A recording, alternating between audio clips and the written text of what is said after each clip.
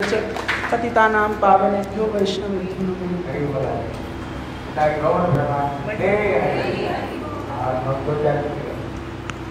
आज से राधा रमन आज प्राकट्य तिथि है आप लोगों ने श्रवण किया कहते जो श्री राधा रमन जी हमारे गौड़ीय वैष्णव में विशेष करके तीन ठाकुर मूल है कहते एक गोविंद एक गोपीनाथ और एक मदन मोहन अगर ये तीनों ठाकुर को एक सूर्यास्त में जो दर्शन कर लेना, उसको साक्षात ठाकुर का दर्शन करने का फल मिलता है।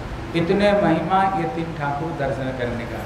क्योंकि जब श्री बज्रनाथ हैं कहते श्री बज्रनाथ जो अपना दादी से कृष्ण कथा को उन्होंने श्रवण की, सुन सुन करके इतने रीझ रहे थे, बोले, मेरे दादा इतने सुंदर थे, मेरे परदादा इतना सुंदर थे। तब उन्होंने देखने के लिए जब इच्छा प्रकट की, तब श्री उत्तराने की सब मूर्ति बनाए बोले, ऐसे एक कृष्ण मूर्ति बनाओ, जितने कलाकार थे, सारे कला लगा दिया मूर्ति बनाने में। जब मूर्ति कंप्लीट ही हो गया, बोले, देखो, आपने जैसे बताया, मैंने वैसे बनाया, ठीक बना कि नहीं? बोले, नहीं। ये विग्रह में तो कृष्ण का केवल बुखार बिंदा आया। बोले, और एक मूर्ति बना, फिर मूर्ति बनाई। जब कंप्लीट हो गया बोले इस, इसमें आया कि नहीं? बोले नहीं इसमें केवल भक्ष्यस्थल आया है। उसका नाम रख दिया गोपीनाथ। बोले और एक मूर्ति बनाया? बोले ये हुआ कि नहीं? बोले इसके केवल ठाकुर का चरण आया है।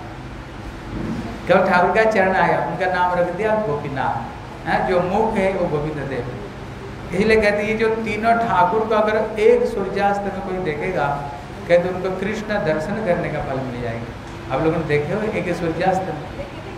हाँ ये अकेले देखे तुम कहाँ देखे हाँ? जयपुर में तीन ठाकुर देखा? इसलिए आप लोगों ने देखा नहीं कोई इसलिए दो दो ठाकुर तो जयपुर में है, लेकिन एक ठाकुर करौली में है। इसलिए इनको तीनों को एक सूर्यास्त में देखना पड़ेगा। लेकिन कहते ये तीनों ठाकुर दर्शन करने से जो फल मिलेगा, केवल श्री राधा रमन को जो दर्शन कर ले। ये राधा रमन को अंदर में, ये तीनों ठाकुर का जो स्वरूप है श्री राधा रमन को अंदर में विद्यमान है। जो केवल श्री राधा रमन को दर्शन कर लेगा, उसको ये तीनों ठाकुर दर्शन करने का फल मिल जाएगा। कहते जितने सारे ठाकुर है, उनको मिस्त्रियों ने बनाया। लेकिन ये राधा रमन को किसने नहीं बनाया ठाकुर जी को? ये राधा रमन स्वयं प्रकट हो गए सालग्राम से ही ये ठाकुर जी प्रकट हो गए। इसलिए अगर ये ठाकुर को देखोगे ना, जैसे शास्त्र बताया, कृष्ण जैसे तीन जगह से टेढ़े हैं। आप देखा ना, ये ठाकुर ठीक तीन जगह से टेढ़े हैं। जैसे छोटे बच्चों का दांत होता है देखना ये ठाकुर का दो दांत बाहर निकला हुआ है, देखो। दो दांत निकला हुआ है ठाकुर जी को। उनको बख्यस्थल जैसे बताया, एकदम चौड़ी। एकदम उनका चौड़ी बख्यस्थल कमर देखोगे, शेर का जैसे कमर, छोटे पतली है। हैं? इसलिए जैसे जैसे बताया, ये ठाकुर में, ये तीनों ठाकुर का समावेश राधा रमन में प्रकटित हुआ है। इसलिए सारे ठाकुर तो वृंदावन से चले गए। गोविंद, गोपीनाथ, मदन, मोहन, तीनों चले गए, लेकिन ये गए नहीं। बोले, क्यों? कृष्ण खुद कहते हैं, बोले, वृंदावनम परित्यज्य पाद एकम न गच्छामी।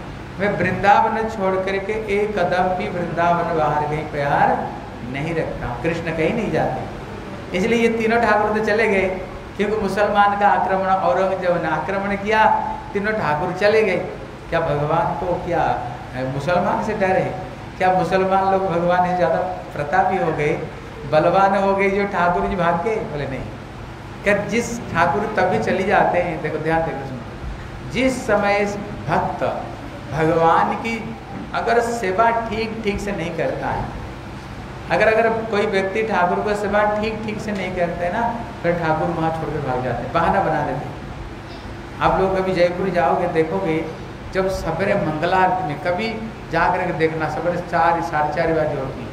ठंडा समय भी होता है, इतने कड़क ठंडा पता है, कैसे ठंडा समय में, तब भी जाकर हज़ार हज़ार लोग मंगलारती में खड़े हुए एक एक झांकी में बंद हो जाता है। फिर ठाकुर जी को स्नान, आरती श्रृंगार आरती एक एक आरती में हज़ार हज़ार लोगों को आप दर्शन करोगे।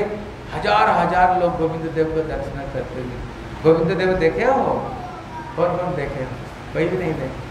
आप लोग एक बार ले जाएँगे, सब ले जाएँगे आप लोग को चिंता इसलिए ये ठाकुर के दर्शन करने से ठाकुर का मुख कमल दर्शन होता है। इसलिए कहते इसलिए ये ठाकुर जी का नाम रख दिया राधा रमन। राधा रमन मतलब क्या? कहते इनकी एक विग्रह में ही राधा रानी भी है और एक विग्रह में कृष्ण है। अब दूसरे दूसरे मंदिर, प्रभु जी कहाँ जा रहे हो? बैठो। हरे कृष्णा, दो मिनट में खत्म हो जाए बैठे। इसलिए अगर आप लोग देखोगे और जितने जितने मंदिर देखोगे ना, राधा रानी, उनको देखोगे। लेकिन यहाँ पर राधा रानी मुकुट रूप में ठाकुर राधा रानी का पूजा होती है। ना मुकुट रूप में। कारण है, इनका नाम ही राधा रमन है। जो राधा जी को साथ में ही जो रमण करते हैं, इसलिए इनका नाम राधा रमण है, हैं? इसलिए श्री गोपाल भट्ट गोस्वामी ये ठाकुर प्रकट क्यों हुए? एक कारण तो आप लोगों ने सुना है, जब कोई सेठ था, मंदिर मंदिर में कपड़े देकर गए, झूला आ रहे हैं, ठाकुर जी को सब संतल को झुलाएँगे, इनको भी दे कर गए, लेकिन इनको पास में तो सालग्राम है। अभी सोच रहे भैया, सालग्राम को मैं कैसे श्रृंगार करूँ? हैं? इसलिए ठाकुर जी प्रकट हो गए सुंदर रूप में। ये कारण है। दूसरा कारण है, ये गोपाल भट्ट गोस्वामी जो महाप्रभु जब गए थे दक्षिण में, ग्यारह साल उम्र था। इन्होंने बड़ी महाप्रभु से सेवा की। लेकिन उसको बाद में महाप्रभु जब चले आए, फिर महाप्रभु का दर्शन नहीं हुआ। इसलिए दिन रात महाप्रभु का विरह में रोया करते थे, महाप्रभु को विरह में रोते थे। इनके विरह को देख करके ये जो सालक राम था, ये साक्षात रूप में श्री राधा रमन ठाकुर रूप में प्रकट हो गया। इसलिए जब जब ये राधा रमन को दर्शन करते थे, इनको श्री चैतन्य महाप्रभु का दर्शन उसमें होता था। इसलिए महाप्रभु कौन है? कहते राधा भाव दूति सुबलितम नवमी कृष्ण स्वरूप। महाप्रभु कौन है? बोले अंत कृष्ण और बहिर्गह अंदर में राधा रानी और बाहर में गौरव। है? इसलिए मानो राधा रानी कृष्ण को इसे आलिंगन करके रखी है। कृष्ण अंदर में और राधा रानी ऊपर में, राधा रानी, है? बोले, आलिंगन करके क्यों रखी? बोले, कारण है, कृष्ण इसलिए आए, राधा रानी कैसे मेरे प्रेम का आस्वादन करते हैं? इसलिए राधा रानी सोच रही हैं, कृष्ण का शरीर कितने कोमल है। उनका चरणों को हम अपना बख्य स्थल में भी धारणा करने के लिए हमको कष्ट लगता है। इतने कृष्ण का चरण कोमल है। लेकिन जब मैं जैसे कृष्ण प्रेम में पछाड़ खा कर गिरती हूँ जब ये महाप्रभु गिरेंगे, कितने कोमल होगा, कितना कष्ट होगा। इसलिए मैं कृष्ण को मैं इसे आलिंगन कर लेती हूँ। जब कृष्ण गिरेंगे, अगर कष्ट आएगा ना कृष्ण को शरीर में नहीं, किसको शरीर में? मेरे शरीर में आएगा। इसलिए राधा रानी क्या करती? कृष्ण को उन्होंने ऐसे आलिंगन करके रखे। इसलिए जो राधा रमन जो विग्रह है, ये श्री महाप्रभु का विरह में ही ये प्रकट, प्रकटित तो हुआ है। इसलिए ये विग्रह का विशेष महत्व है। इसलिए इनको जिसने प्रकट किया, श्री गोपाल भट्ट गोस्वामी, इनकी बहुत बहुत कथा है। हम बाद में कभी सुनेंगे इनकी और प्यारी प्यारी कथा कैसे पहले ये रामानुज संप्रदाय में थे, कैसे महाप्रभु का संघ से कैसे उन्होंने बदल करके उन्होंने सबके सब महाप्रभु धारा में आए। पहले ये लक्ष्मी नारायण को पूजा करते थे इनका परिवार के लोग। लेकिन श्री महाप्रभु का कृपा से ही ये सब के सब परिवर्तन होकर के श्री चैतन्य महाप्रभु धारा में आ गई और सब के सब महाप्रभु के अनुयायी बन गए। इसलिए कहते अधिकंतु न दोषाय मतलब है, अगर हम कोई नीचे किसी उपासक में हो, अगर हमें कोई श्रेष्ठ वस्तु प्राप्त होता है, अगर उसको करे तो उसमें कोई दोष नहीं है। उसमें कोई, इसलिए लक्ष्मी नारायण को पूजा करते थे, ये तो ऐश्वर्य मार्ग है, लेकिन भक्ति माधुर्य मार्ग में होता है। इसलिए महाप्रभु ऐसे ऐसे कथा सुनाए, राधा कृष्ण के प्रेम के बारे में ऐसे उन्होंने, अद्भुत उन्होंने कथा सुनाए जिस कथा रूपी गंगा में श्री गोपाल, श्री वेंकट भट्ट इनका जो पिताजी थे, एकदम सराबर हो गई और राधा कृष्ण की माधुर्य में आकृष्ट होकर के ये सब के सब गौड़ीय वैष्णव में और इनको जो चाचा थे प्रबोधानंद सरस्वती, जिन्होंने राधा रस सुधा रूपी ग्रंथ रचना उन्होंने की है। इसलिए उनका पूरा के पूरा परिवार सबके सब महाप्रभु धारा में अभिषिक्त हो गए। आज इनका तिथि है। आज गोपाल भट्ट गोस्वामी हम सबको पर भी कृपा करें, आशीर्वाद करें। हमें भगवत भक्ति हो, राधा कृष्ण के चरण में और महाप्रभु का चरण में हमारी प्रेम बढ़ते रहे। बोले श्री गोपाल भट्ट गोस्वामी की, बोले श्री राधा रमन लाल की।